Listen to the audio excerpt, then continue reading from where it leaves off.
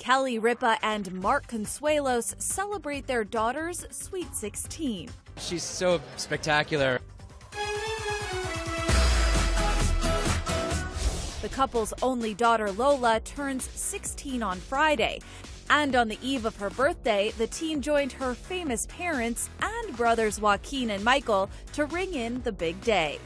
The Live with Kelly and Ryan co host shared this family pic on Instagram, writing, Sweet or sour, still 16. Hashtag sweet 16.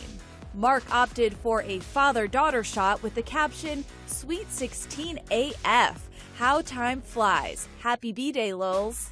The 46 year old is definitely proud of his little girl. She's such a, a great girl. I'm, she's, you know, she makes good choices. E.T. caught up with the actor last summer at the premiere for his flick Nine Lives when he walked the blue carpet with Lola on his arm.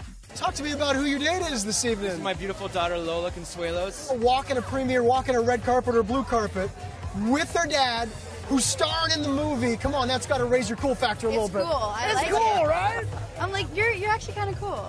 I didn't think so far, but I think you're cool.